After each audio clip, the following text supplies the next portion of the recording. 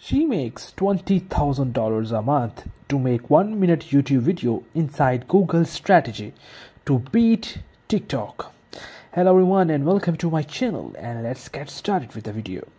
YouTube says hundreds of thousands of creators are now earning a paycheck from posting short videos on the platform as it ramps up its race to compete with rivals like TikTok and Instagram. It has not been cheap.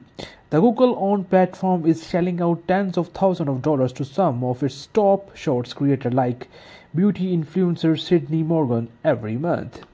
YouTube began offering creators a share of ad revenue for shorts last year as its TikTok copycat feature struggled in stand out in the fiercely competitive landscape of the online short form video.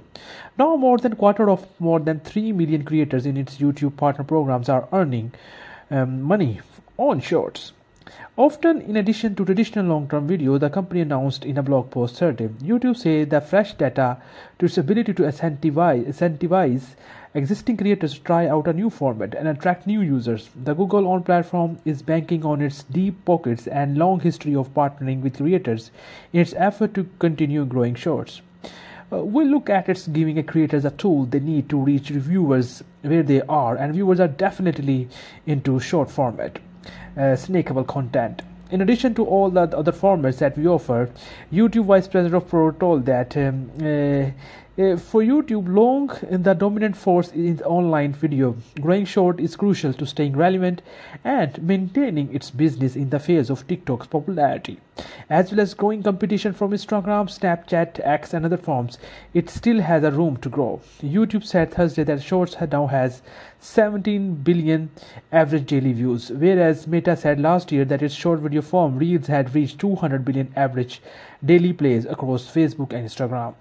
Short form video has the potential to be a cash cow. Meta said in July that Reels was set to bring $10 billion in annual advertising revenue.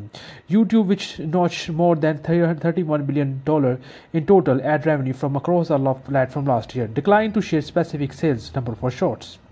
To bring in those advertising dollars, platform need creators to make the content to sell ads on.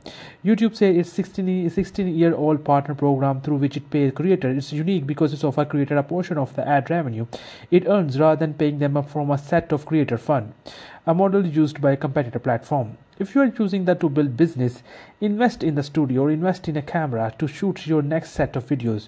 You can't do that if you don't have a program you can rely on so guys this is all in this video. I hope you have guys liked this video. Don't forget to subscribe to our channel and comment in the comment section